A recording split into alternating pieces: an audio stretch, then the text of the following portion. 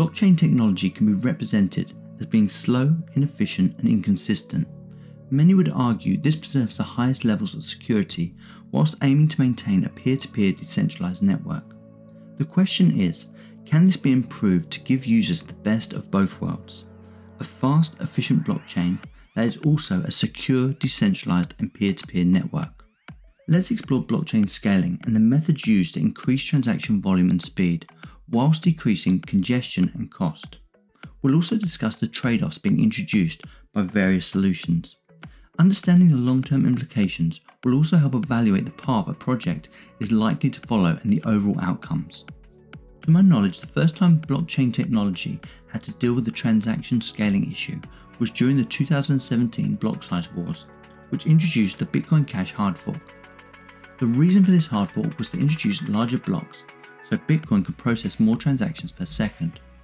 This hard fork would have taken the original block size from 1 megabyte to 4 megabytes per block with the likelihood of this increasing further in the future as needed. The opposition to this hard fork highlighted the blockchain bloating that would be caused by increasing the block size. Fast forward to today, and we can see this effect playing out in many blockchains, including Ethereum and Solana. Bitcoin BTC also hasn't completely avoided this problem. The desirable features blockchain projects try to include in their design can be categorized into three areas volume, low fees, and speed. In terms of transaction volume, the holy grail is to match the 100,000 transactions per second currently being achieved by Visa. Transaction speed is how fast transactions can fully settle. One of the major downsides of blockchains like Decred and Bitcoin is how long this takes. The aim in this area of development is to get transactions to fully settle in under one second. And finally, transaction fees. As a blockchain increases in popularity, it will start to witness block congestion. This in turn pushes transaction fees up as people increase the amount they are willing to pay to get their transaction into the next block. The aim in this area is to maintain a transaction fee that is less than a penny. The current benchmark is a single atom or Satoshi. As scaling solutions are introduced, they typically run into one or more unavoidable trade offs. These include centralization, lower security, blockchain bloat, inefficiencies, and reduced reliability Let's look at how these trade offs are introduced. Reduced decentralization is typically caused due to the majority of users not being able to run the validating software and hardware needed. The lower the participation in this area, the more likely this infrastructure is being run by data centers, which generally is incredibly bad for security, privacy, and the peer to peer nature of a blockchain. Security issues typically arise through greater complexity or techniques used to circumvent on chain consensus mechanisms. Three examples of this are sharding, pruning, and bridging. But security can also be lowered as projects increase their need for trusted third parties or data centers. Blockchain bloat is mostly unavoidable when a project aims to place all transactions on chain whilst aiming for the 100,000 transactions per second target.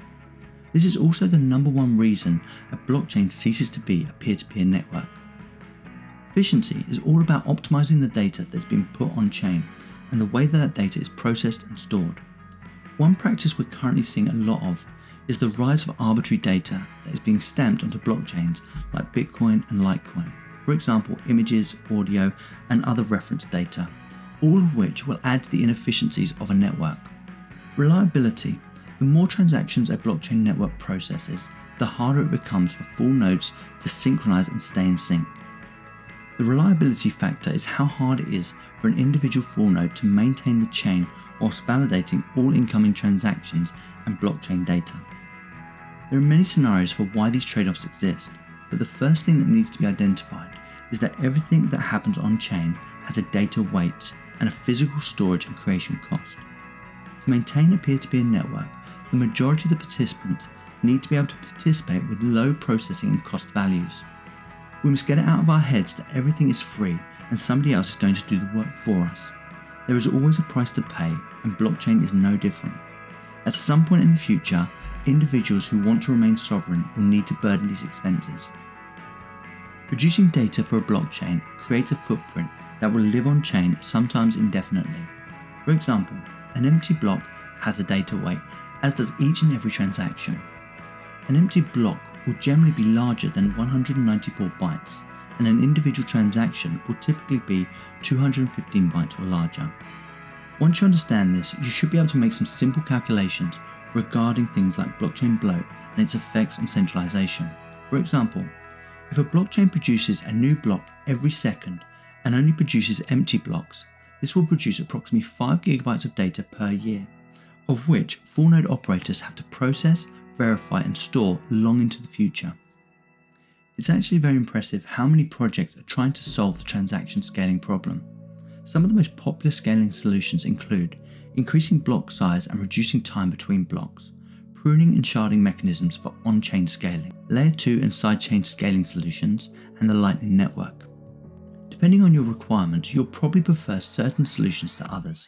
I'm currently leaning towards the Lightning Network for my preferred scaling option, as it keeps the majority of transactions off chain. It also fulfills the requirements of cheap and fast settlement. In terms of trade offs, it can be noted that the Lightning Network does introduce more complexity and lower security than can be assured with on chain transactions. For this reason, the recommendation for using the Lightning Network is for small amounts, including in person transactions like buying a cup of coffee or tipping someone for a service that they provided. As a final note, the Lightning Network does have some performance features which as a bundle aren't found in any of the other solutions I've researched, including extremely low blockchain bloat, the ability to process greater than 100,000 transactions per second, settlement times below 1 second, and low cost transaction fees of 1 Atom or Satoshi per transaction.